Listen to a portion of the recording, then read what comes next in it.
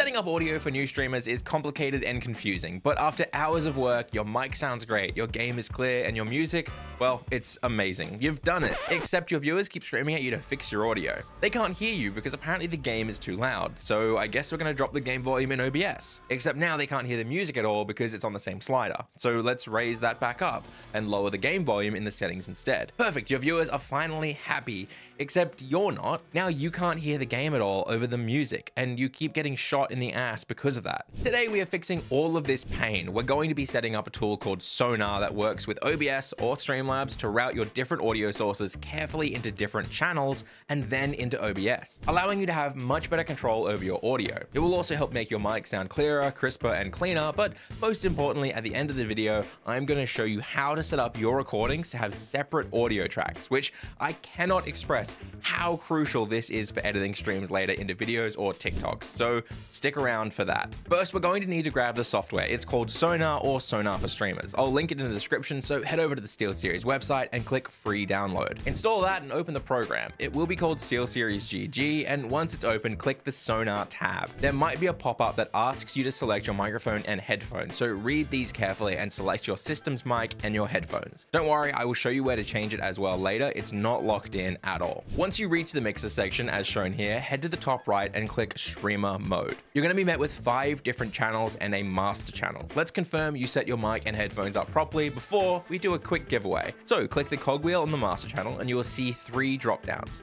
The first says personal mix. This is your audio mix that you're going to hear through your headphones or speakers. You're going to want to set this to, again, your headphones or speakers. Mine are called System Bridgecast, but you can also see my Arctis headset is here as well. Next is the stream mix. This is the audio mix that your stream is going to hear. Set this to SteelSeries Sonar Stream. And finally, the mic input. This is the mic you'll be talking into, so set this to your microphone. Mine is called Mic Bridgecast, but yours will be called something like Samson Q2U if you've bought the mic I tend to recommend. And with that, it's time to start routing our audio right after this giveaway by OWN3D. Thank you to our sponsor, OWN3D, for doing today's giveaway. OWN3D.tv is the best place to get stream overlays, alerts, sub badges, and just you name it, graphics for anything you need as a streamer. They've given me dozens of vouchers for their store, which work alongside their global sales. This means that anytime they're having a massive sale like they are right now, you could grab pretty much anything on their website, even a full animated overlay pack for just a few dollars or even free. All you have to do to enter is to write hashtag owned giveaway and let me know what you'd pick up, whether it's an overlay pack, an alert pack, you name it. Thank you again to OWN3D for always supporting this channel. I couldn't make this content without them. Now that you have Sonar installed, this is going to be where all our audio comes from. So let's add this to OBS or Streamlabs as a single sound source. Open OBS, click settings, go to audio, and you'll see all these drop downs here. I want you to remove your mic and all your other captures. Set them all to disabled and instead just add SteelSeries Sonar Stream to Mic Aux Audio 1. From there, click apply and you'll see this single audio level at the bottom. Click the three dots and make sure it's set to vertical because horizontal levels are for freaks, psychos, and sickos. Then click them again and rename it to Stream Mix so you never get confused about what audio is there. I briefly explained it earlier, but you can see here there are five columns. There's game, chat, media, aux, and mic. These are essentially virtual audio sources. If you're a beginner, think of it like this. When you plug a microphone into your computer, you get a microphone source that you can add to OBS. And if you plug a second microphone in, you'll get a second microphone source that you could also add to OBS. These are two different microphones and two different sources. Sonar creates new virtual audio sources on your computer, kind of like adding a microphone. But rather than sending your voice to that source like a microphone would, you're sending your computer programs that create audio. So your game, Spotify, Google Chrome, you name it, if it makes audio, you can route it. For example, if I play music on Spotify, you'll see Spotify appears down here at the bottom in the apps to be routed section. I can then drag Spotify over to the media channel, and now the levels here are moving with the music. And if I look inside OBS, then the stream mix is also moving as well. Now, if I want to change the volume of my Spotify, I can drag this volume slider for media all the way down, and it will become quieter in OBS. But wait, you might not be able to actually hear your music when you've done this. Well, that might be because you need to click the cogwheel and tick personal mix as well as stream mix. This means that you are sending the audio to your personal mix, your headphones, as well as to your stream mix, your viewers that can hear it in OBS. And this goes for all these sources as well. I can route any audio from any program to any of these channels and then send it to my stream or to me or to both, all while controlling the volume from Sonar and not all the individual programs. This means if I don't want to listen to music but my viewers do, I can lower or even outright mute my music by moving my personal mix media slider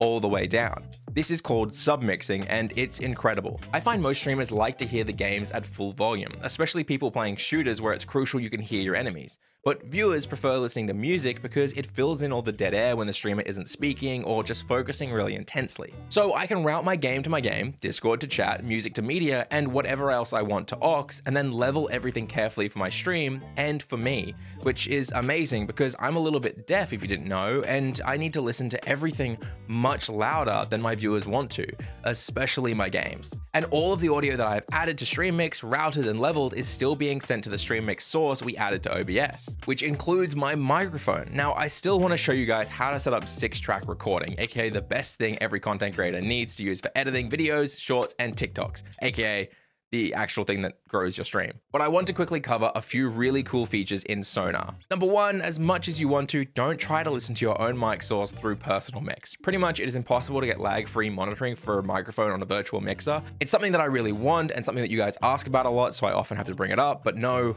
I haven't found lag-free monitoring in software. If you do try to listen back to your microphone through Personal Mix while streaming, you'll speech jam yourself. And while it's hilarious watching someone stutter because their voice is in their ears, it's not great content after about 30 seconds. That said, what you can do with this software is make your mic sound absolutely amazing. If you click mic up at the top, you'll see it has what's called a 10-band parametric EQ. This lets you alter how your mic sounds. People use this to often make themselves sound more crisp or generally just pretend they have a much cooler sounding voice than they actually do. If you're new, I'd recommend going and finding a full video guide on EQ before you start fiddling, but for now, you can try these different presets built for different voice types until you get one that you really like. And of course, if you scroll down, you can lightly add noise reduction to remove any white noise such as fans or air conditioning. But remember, don't add too much or it will start to strip your voice away and give you a very hollow or tinny sound. You can also add a compressor here to try sound a bit more like a radio presenter, but again, don't go too heavy. And of course, a noise gate so the mic isn't always transmitting out as well, and instead just grabs when you speak or the mic picks up something loud. To set this easily, turn on the gate, put it all the way to the side, and then start talking and slowly slide it until you hear your voice.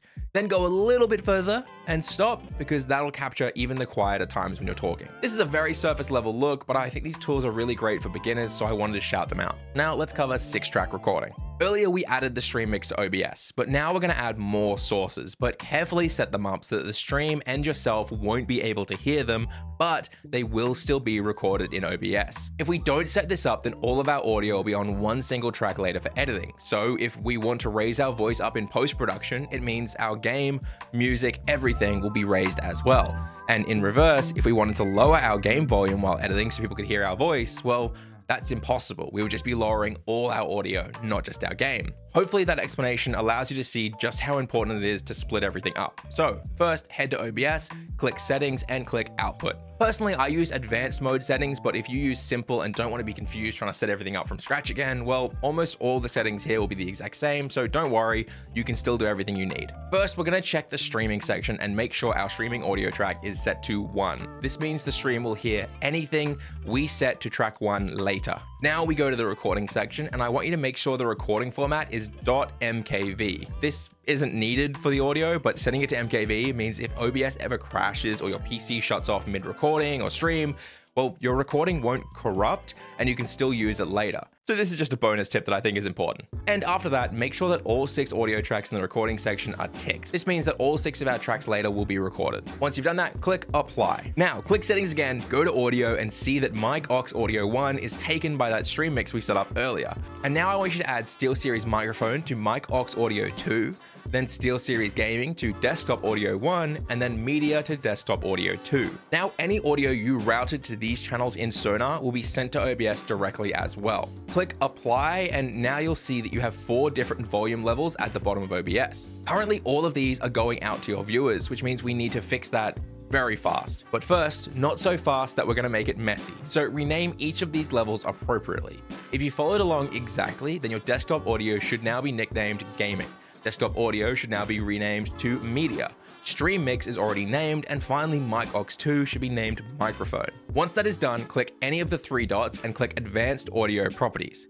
First step, I want you to turn off every single track so the entire thing is empty. Now remember, we want our viewers to hear the stream mix and we also set our stream track to 1 earlier. So find stream mix in the list and select track 1. For our gaming, our media, and our mic, we don't want these on track 1 because Sonar is already sending them to our viewers through the stream mix. If we set them to track 1, it would double up. So instead, we're going to set our microphone to track 2, gaming to track 3, and media to track 4. With that done, it means when we stream, viewers will hear everything through the Sonar stream mix, but when we also record, every individual channel from Sonar will be on its own track. Now, it's really important to remember, you do need to route an app to the correct channel. It will not do this automatically. So if you've never played Baldur's Gate yet, but you load it up and don't route it to the game channel, well then it won't be recorded on its own channel inside OBS because you never routed it to gaming. So let me record something here briefly and I can show you the six tracks, but before I drag this clip that I recorded into my editing software, I actually have to go to OBS, click File, click Remux,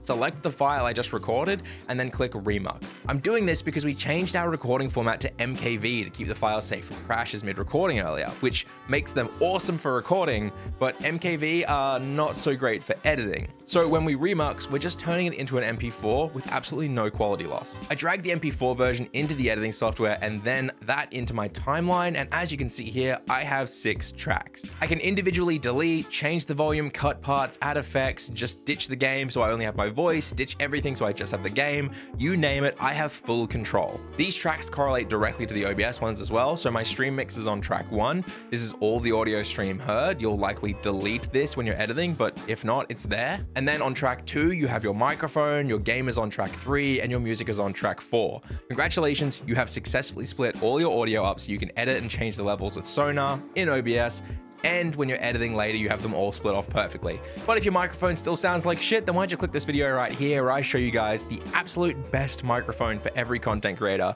and how it is actually only $75. It's wild.